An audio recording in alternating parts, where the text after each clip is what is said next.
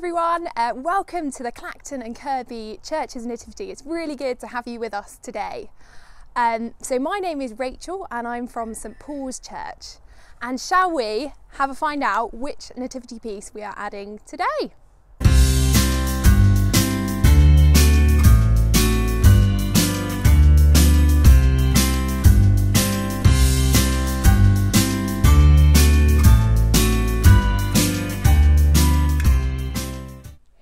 Hi everyone. The pieces that we're going to add to our nativity today, we've got two sheep and a lamb. So here we go. I'm just going to put them there, there, and there for the moment. Now, do you remember what Advent means? Remember that we're thinking, we're looking back to when Jesus Christ first came and was born as a baby, and we're looking ahead to when Jesus Christ will return. But why did God send Jesus into the world? And the answer is found.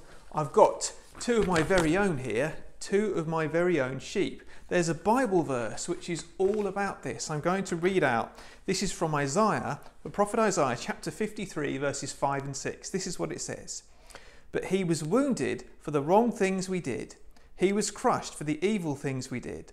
The punishment which made us well was given to him and we are healed because of his wounds. We all have wandered away like sheep. Each of us has gone his own way, but the Lord has put on him the punishment for the evil we have all done.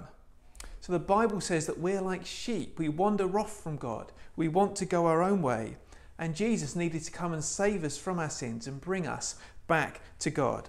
And by doing this, Jesus showed that God is righteous and merciful. He showed God's glory. So that's why we're putting sheep in the Nativity today.